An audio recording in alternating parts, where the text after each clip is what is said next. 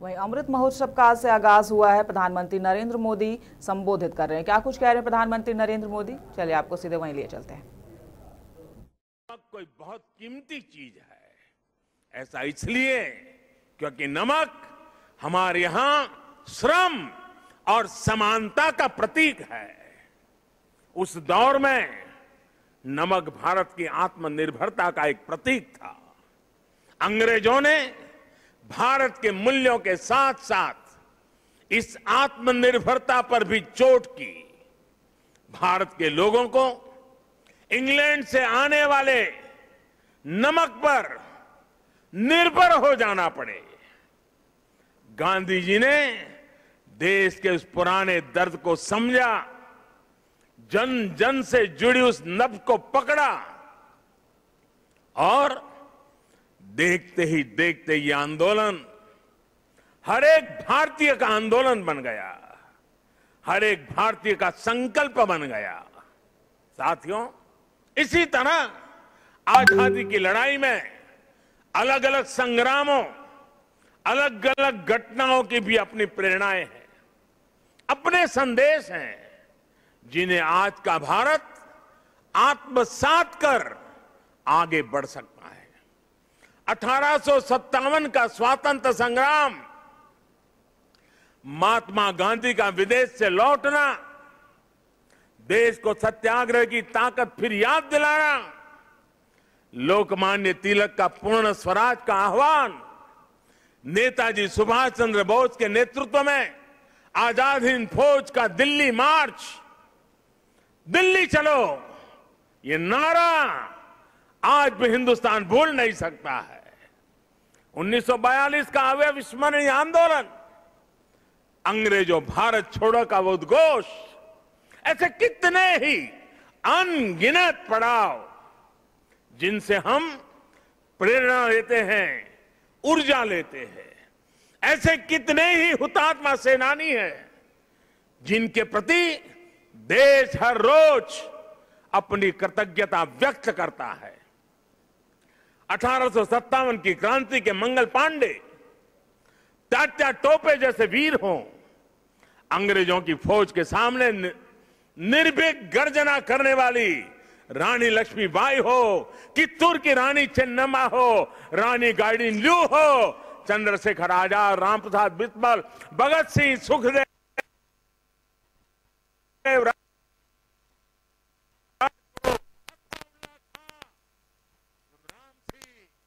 टिट्टू जी पोल रामास्वामी जैसे वीर हो।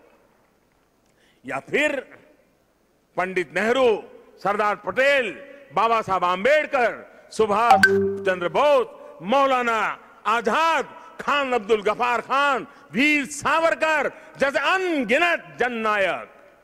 ये सभी महान व्यक्तित्व आज़ादी के आंदोलन के प्रथदर्शक रहे हैं। आज इन्हीं के सपनों को भारत बनाने के लिए, उनके सपनों का भारत बनाने के लिए हम सामूहिक संकल्प ले रहे हैं, इनसे प्रेरणा ले रहे हैं।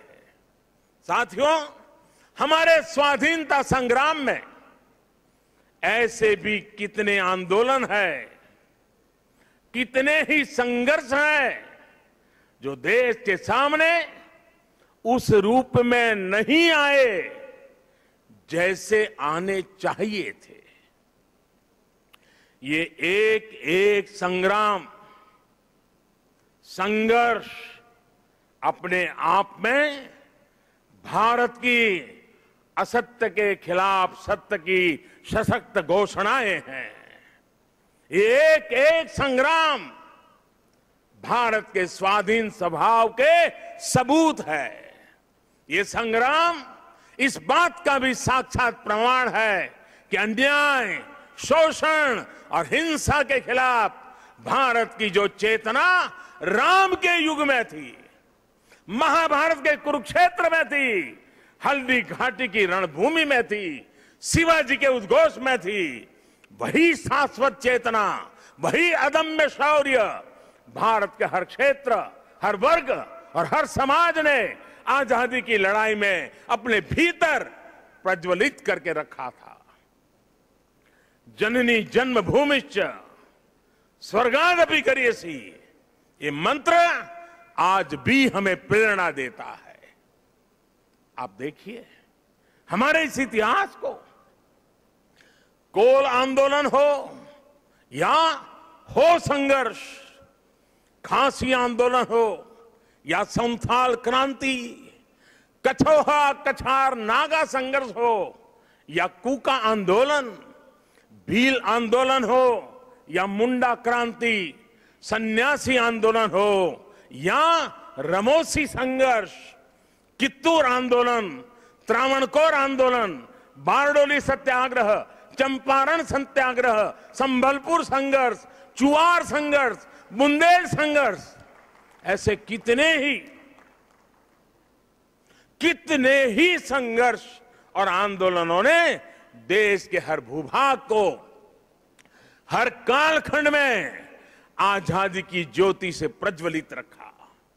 इस दौरान हमारी सिख गुरु परंपरा ने देश की संस्कृति, अपने रीति रिवाज की रक्षा के लिए हमें नई ऊर्जा दी, प्रेरणा दी। त्याग और बलिदान का रास्ता दिखाया। और इसका एक और अहम पक्ष है, जो हमें बार बार याद करना चाहिए।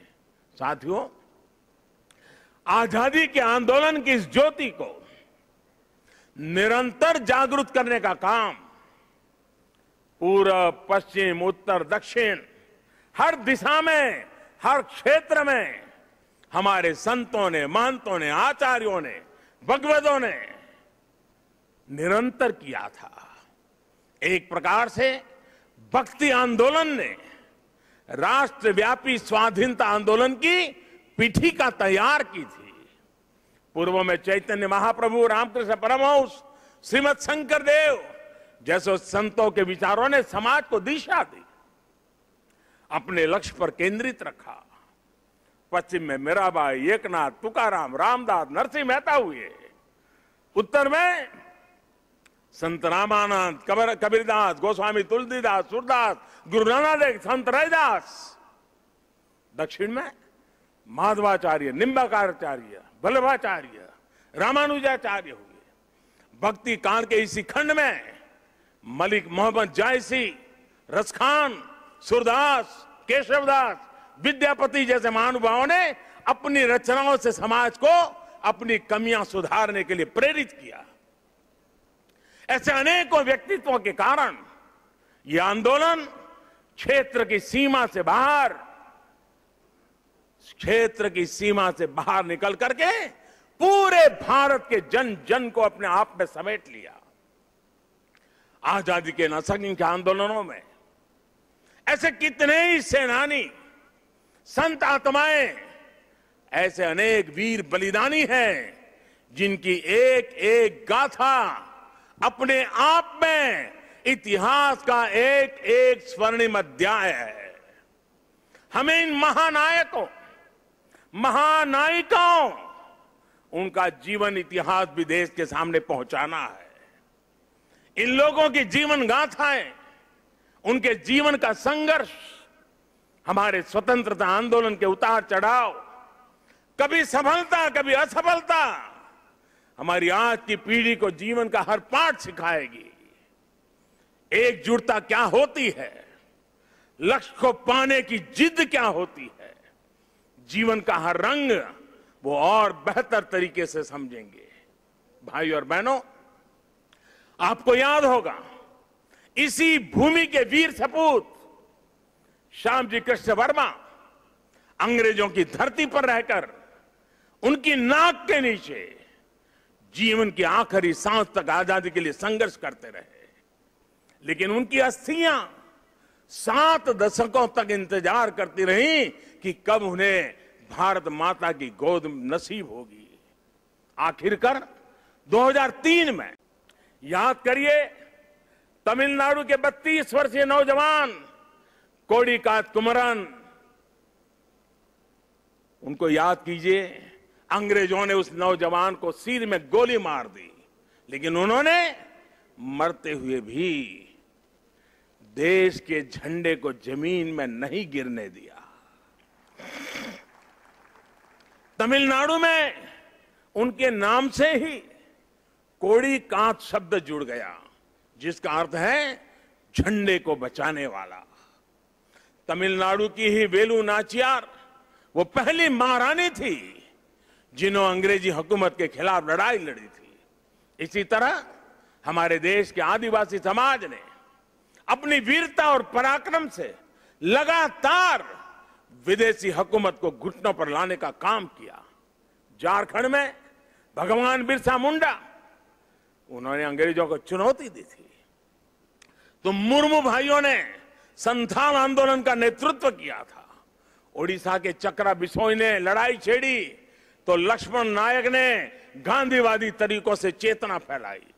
आंध्र प्रदेश में मन्यम विरुड़ी यानी जंगलों के हीरो अल्लूरी सिराराम राजू ने रंपा आंदोलन का बिगल फूका था।